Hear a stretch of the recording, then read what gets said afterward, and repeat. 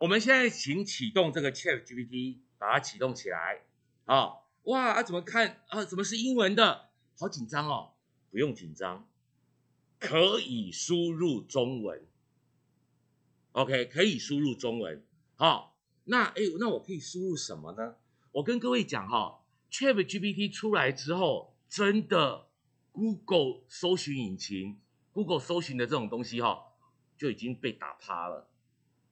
哦，因为我们在 Google 常常我们会搜寻什么字眼，然后它跑出来一大堆的网站，让你自己去选，对不对？可是 ChatG GPT 的做法是，你可以问他问题，它可以给你一些回答，而不是不是给你挑的哦，它给你很多的回答。哦，但是我要先讲一下，它训练的资料。仅限于到二零二一年，所以如果你问他说：“请问二零二二年的足球世界杯冠军是谁？”他不知道。OK，哦，所以你只能可能问二零二一年他以前他知道的事。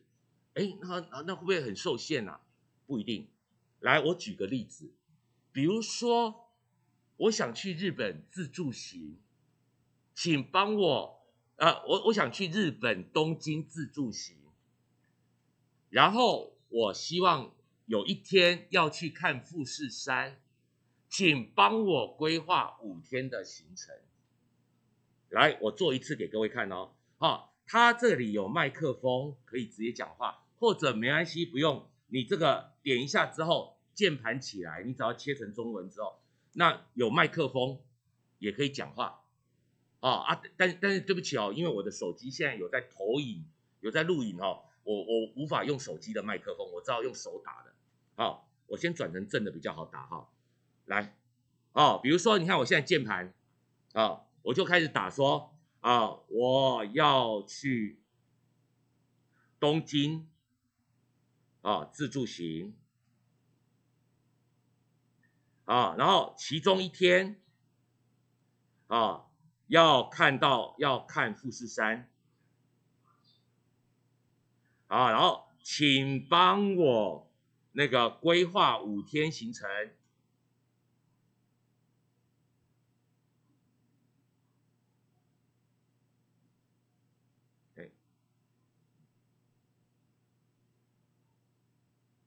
好，你看 我把它放横的，让各位看文字。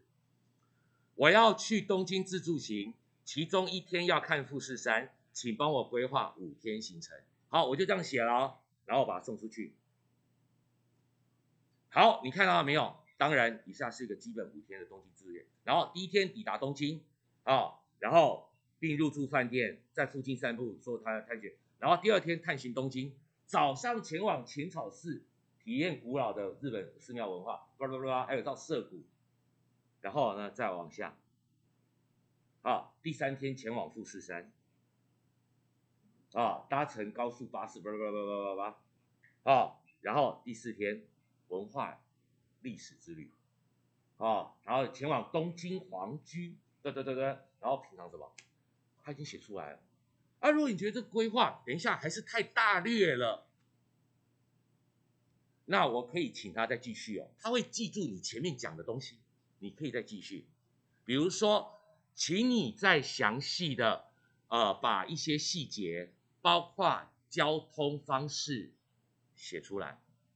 啊，你看哦，我再继续打哦，我我放直的来打然后啊，请请再详述，啊，详述，啊，那个呃景点与行程。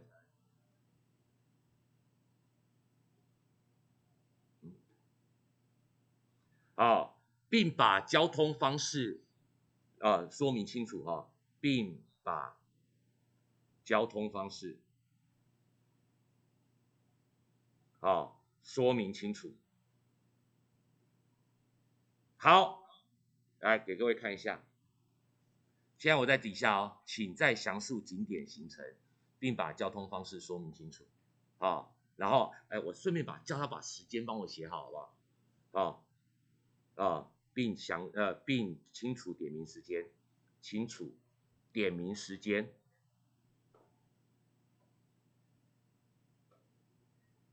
好，给横的给各位确认一下。你看哦，我现在写说，请在详述景点与行程，并把交通方式说明清楚，并清楚点名时间。好，我就按送出。好，开始哦。你看，第一天抵达东京，哦，他说抵达东京并搭乘机场快线，或者是利用计程车前往饭店。好，入住饭店后可以附近的街道站啊，好，然后晚上可以到酒吧体验东京夜生活。然后呢，前往浅草寺搭乘地铁或 JR JR 前往，啊，参观寺庙和雷门，啊，或者等等。当然他那个什么，比如说哦，像这个，他说地铁跟 JR，哈。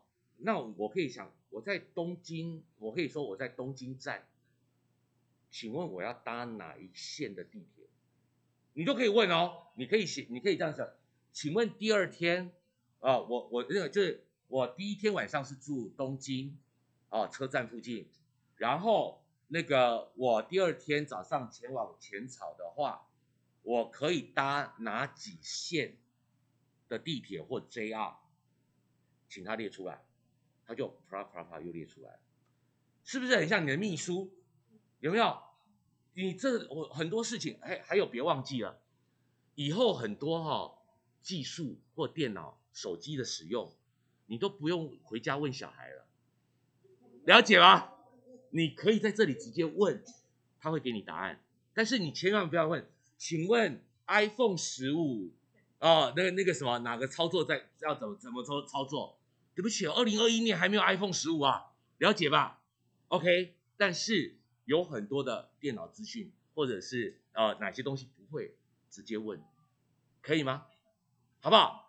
好，所以这个先让各位玩玩看，好不好？